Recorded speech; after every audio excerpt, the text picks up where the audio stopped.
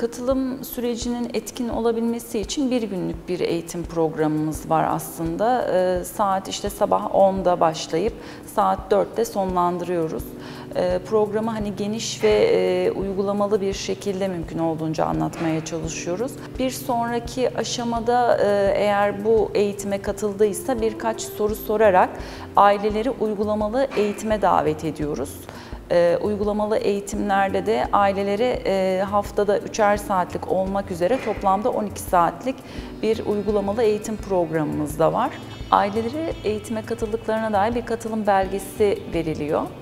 E, bütün programlar bu belge üzerine zaten kaydedilmiş oluyor. Aile hangi programa geldiğini, kaç saat bu eğitimi aldığını o belge üzerinden zaten gösterebiliyor.